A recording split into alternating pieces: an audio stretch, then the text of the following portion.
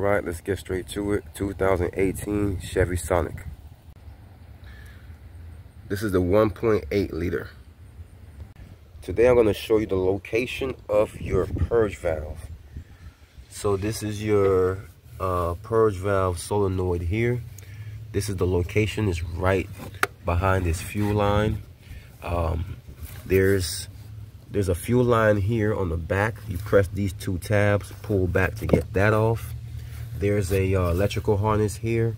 You pull this tab down, you pull this way to get that off. And then there's another fuel line on this side to get off.